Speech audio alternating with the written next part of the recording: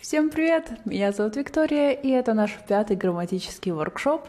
И сегодня мы будем с вами говорить про past simple, про то, что было в прошлом, да, про прошедшее время.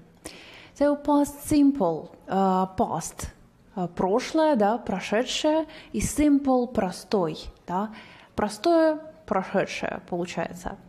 Давайте разберемся, когда мы его используем.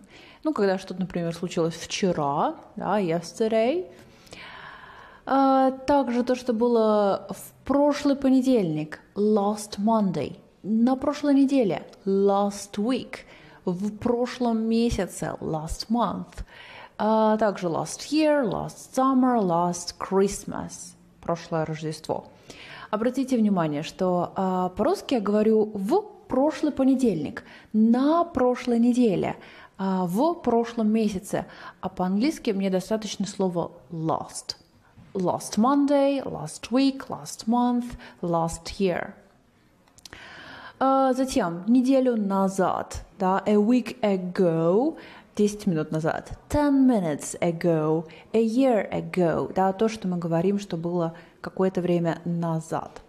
А также мы обозначаем конкретно когда да, это произошло. Например, 1999 in 1999 или зимой in winter или в марте in March да, и так далее в любой какой-то конкретный период времени. А, у нас опять-таки с вами э, сохраняется наша история с описанием и действием и описание, description, да, мы сейчас с вами увидим. Например, I am in Spain now. Да, мечты, мечты. I am in Spain now. Сейчас я в Испании, и я была, я находилась в Испании. I was in Spain. Вот как мы из настоящего описания да, перемещаемся в, в описание в прошлом. Я была в Испании, я находилась в Испании. I was in Spain. Она является экономистом. Она была экономистом. She was an economist. Это потрясающе, это здорово, это шикарно. It is great. Это было шикарно. It was great. Что изменилось, да? Форма глагола to be поменялась. У нас вместо am is, а, да, у нас стало was. Was. Обратите внимание, здесь везде один человек. Я один, она одна, он один, а, оно, да, или это а, одно. Да, was для единственного числа. Для множественного числа давайте посмотрим. Как мы помним, в настоящем они являются милыми, они являются хорошими. They are nice. Uh, как мы в прошлое переведем это все? They were nice. We are, uh, you are happy? You were happy yesterday. We are cool. Мы крутые вообще, классные. We are cool. We were cool yesterday. Да, вчера э, на, каков, на каком-то мероприятии мы были явно очень крутыми. Итак, для множественного числа у нас форма were, да, все, что было are, становится were. Uh, I was in Spain, they were in Spain. Uh, I am nice, I was nice. И так далее. Окей? Okay? Итак, uh, в утверждении uh, для uh, единственного числа I, he, she, it. Мы используем was, да. I was angry yesterday. She was tired last Monday. Uh, uh, he was at home uh, in the evening. А вечером он был дома. И для множественного числа you, we, they were. Да? You were calm, вы были спокойны. Uh, we were angry, мы были явно очень злы. Uh, they were at school uh, last week. Они на прошлой неделе были в школе. Good. Okay. Что сделать, чтобы отрицание uh, сделать? Да, частица not добавляется. Добавляется в данном случае к чему? К глаголу to be точно так же. Uh, у нас было was, стало wasn't. У нас было were, стало weren't. Wasn't и weren't. Да, I wasn't angry yesterday. Мгм. Uh, she wasn't tired. You weren't at home. Вы не были дома. They weren't at work uh, yesterday. They were at home. Они не были uh, На работе, они были дома. Uh, we weren't in the office uh, in the morning. Да, утром мы не были в офисе. Alright, so uh, now we know the negative sentences. Теперь мы уже знаем про отрицательные предложения. Как построить вопрос? Порядок слов, как обычно, меняется порядок слов. Was переезжает на uh, место перед тем, кто выполняет действие, да, кто каким-то является. Uh, являлась ли она злой, являлся ли он уставшим, да? Was, was he tired yesterday? И were для множественного числа. Were you at home? Вы были дома? Uh, were they at work? Они были ли они на работе? Uh, were you angry? Были ли вы разозлены чем-то? Если мы хотим уточнить информацию, да, uh, узнать детали, то мы используем с вами уже uh, известные нам вопросительные слова, и которые мы ставим в самое начало – перед глаголом to be, да, то есть, смотрите, ничего вот здесь не изменилось, просто добавились вопросительные слова. Э, почему она была чем-то разозлена, да? Why was she angry? Э, когда он был уставшим? When was he tired? Э, почему вы были дома? Why were you at home yesterday? And, um, uh, почему uh, вы были спокойны? Why were you calm? Yeah? Um, может быть, не надо было быть уже спокойным совсем. And, um, когда, I, когда мы были в школе? Uh, when were we at school?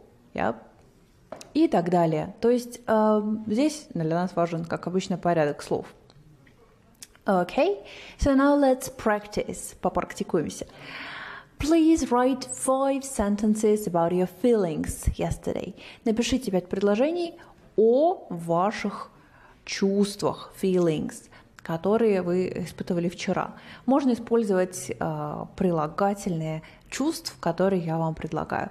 Uh, например, excited, в восторге, быть uh, в предвкушении чего-то хорошего, excited, да, или радоваться, что что-то сейчас произойдет хорошее. Sad, sad, грустный. Hungry, hungry, голодный, да. Tired, tired, уставший. Happy, радостный, счастливый. Please click to pause the video. Пожалуйста, поставьте видео на паузу и напишите, а, были ли вы а, грустными или вы не были грустными, или вы были уставшими, или вы вчера не были голодными. Alright? Okay, thank you very much. That was great. Uh, шикарно, спасибо. Тогда двигаемся дальше. Сейчас будем обсуждать действие, action action, как мотор, да, когда говорят, э, типа, мотор начинаем снимать. Action. Uh, у нас есть глаголы, да, которые выражают действия. Действия выражаются какими-то глаголами. Спать, помогать, бегать и так далее. И у нас есть два вида глаголов для past simple. У нас есть regular verbs, да, правильные глаголы. И вот как мы э, строим предложения с ними. Мы всего лишь добавляем окончание ed. Причем не, не важно he, she, it, да, I, you, they, не важно. Для всех будет одна форма с окончанием ed. Например, отвечать to answer. I answered, she answered, they answered. To stay – оставаться, останавливаться – We stayed uh, in a hotel. Мы остановились в отеле. Uh, you stayed with her. Ты осталась с ней. Um, They stayed with us. Они остались с нами. Smile – улыбаться. You smiled yesterday. Ты улыбнулась вчера или вы улыбнулись вчера. He smiled, uh, she smiled, we smiled, I smiled. Никаких изменений. Try – пробовать, пытаться или еще, может быть, примерять. Uh, we tried, uh, they tried, I tried, she tried и так далее. Like – нравится, испытывать симпатию. Ему это понравилось. He liked it. She liked chocolate. Uh, he uh, he liked green tea.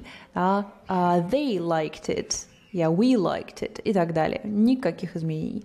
Love, loved, да, то же самое. They loved, I loved, she loved, he loved. Никаких изменений. Наконец-то у нас что-то совершенно несложное, да? А, для всех лиц и чисел а, всего лишь окончание ed, да, время порадоваться.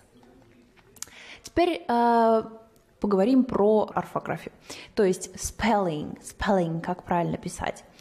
Добавляем окончание ed мы несколькими разными способами. У нас бывает так, что в глаголе, например, останавливаться, stop, to stop, на конце одна, одна единственная согласная, чаще всего глухая. Перед ней идет гласная, да, stop. Тогда мы удваиваем согласную, да, и только после этого добавляем ed. Например, to stop, stopped, I stopped. Admit, admit something – это признавать что-то. Uh, admit it – признай это. Uh, у нас опять-таки т на конце и перед ней гласная, видите? Uh, что мы делаем? Мы удваиваем т. I admitted it. Я признала же это уже. Yeah, he admitted that. Он признал вот что-то еще. Да, но смотрите, если у нас несколько согласных, например, в слове help у нас есть L и P, то мы ничего не удваиваем. Uh, he helped me, she helped me и так далее. Uh, love, да, в данном случае у нас на конце буква И. Что же нам делать? Как нам добавить ed? Мы же не можем еще одну и написать. Действительно, не можем. Получится как-то странно. Для этого мы э, да, оставляем ту и, которая была уже в глаголе love, и просто дописываем d. Да? Uh, I love you, uh, you loved me, I loved you. Да? То же самое save, save, спасать. You saved me, he saved her. Там, я не знаю, they saved us, да, они спасли нас и так далее. Uh, если у нас заканчивается глагол на y, и она читается как uh, I или как и, да, то есть какими-то гласными uh, вариантами, да. Например, hurry, hurry, спешить то мы убираем y, убираем совсем на совсем, пишем I и добавляем ed. He hurried, she hurried, they hurried, да. Um, carry – носить, например, носить сумку. To carry a bag. Uh, y убираем, добавляем I, ed дописываем. She carried a heavy bag. Она несла тяжелую сумку. Reply. Reply. Отвечать. Uh, reply. То же самое. Y убираем. I, ed. Да, получается. He replied. Он ответил.